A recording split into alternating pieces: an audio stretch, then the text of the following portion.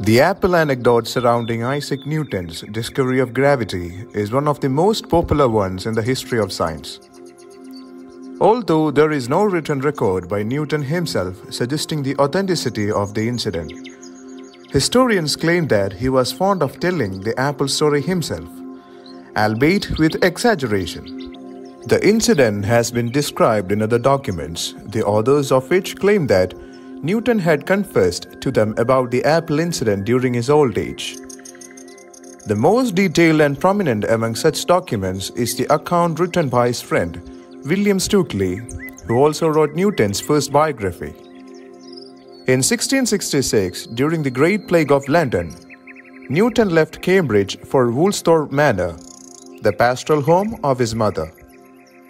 Stukeley wrote that once after dinner, while the two of them drank tea under an apple tree, Newton told him that he was still contemplating the notion of gravity. He spoke about the apple tree as an example and wondered aloud why the apples fell perpendicularly to the ground and not sideways.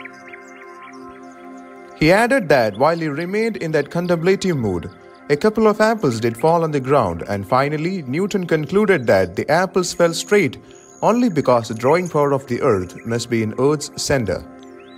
Stukeley did not clarify whether an apple fell on Newton's head or not. So, it can be said with a far hint of surety that though the apple did not fall on Newton's head, it did inspire his gravitational theory. Interestingly, at least one apple tree has been found at Woolsthorpe Manor, lending probability to the incident.